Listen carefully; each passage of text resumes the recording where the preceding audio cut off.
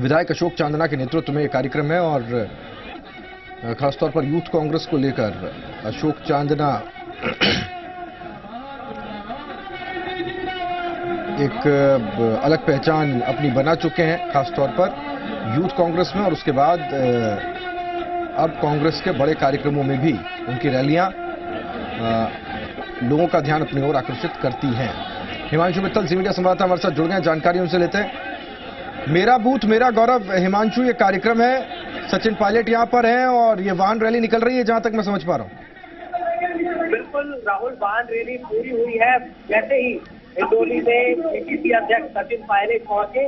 एक बड़ा road show यहाँ पर किया गया है। एक पुलिस जिप्सी के अंदर होते हुए, पूरे हिंडोली में होते हुए जो आयोजन स्थल है, जहाँ पर सचिन पायलट पहुँचे हैं। देख सकते हैं, ये भीड़, व्यवस्था मेरा बूथ, मेरा गौरव का ये आयोजन हिंडोली लहनगांव विधानसभा क्षेत्र का यहाँ पर आयोजित किया गया है और देख सकते हैं आप पूरे लवाजमे के साथ में, बड़ी वाहन रैली के साथ में बीजेपी अध्यक्ष सचिन पायलट मेरा बूथ, मेरा गौरव के इस आयोजन में पहुँचे हैं यहाँ पर संबोधन के लिए पहुँचे हैं। सामने देख सकते हैं आप कि इस वक्त सचिन पायलट और यहाँ पर जो सचिव है, तरुण कुमार, साथ में जो पूर्व मंत्री, केंद्रीय मंत्री नमो नारायण मीणा, आप देख सकते हैं।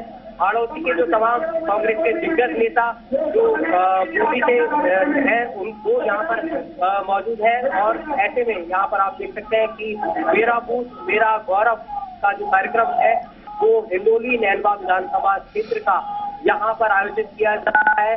कोशिश की गई है कि ज़्यादा तादाद में भीड़ जुटाई जाए और लंबे समय से इस आयोजन को लेकर के विशाल तैयारियाँ की गई थी। ज़्यादा तादाद में भीड़ जुटाई जा सके गाँव गाँव से लोगों क्या किसानों को ला सक लाया जा सके।